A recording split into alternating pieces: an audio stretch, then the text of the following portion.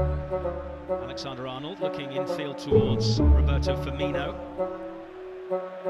And by Dani Ceballos, who was impressive Man, God, against Burnley how last far week. now? The How man far on would loan that from game Real will Madrid. be?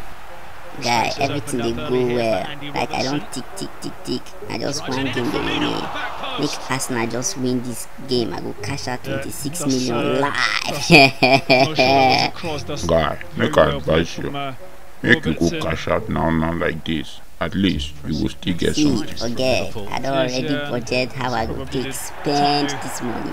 Might want to After today, I will finally Pepe, feel try married to, to the man. And now the father will give me that respect where I deserve This is what as a man. again, and it might But guy- Guy, guy, guy, I beg, I don't want to hear this thing.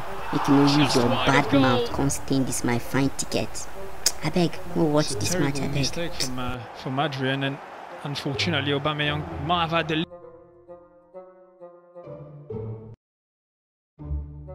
Action. Salah goes alone, and Salah quite nonchalantly gives Liverpool a third goal.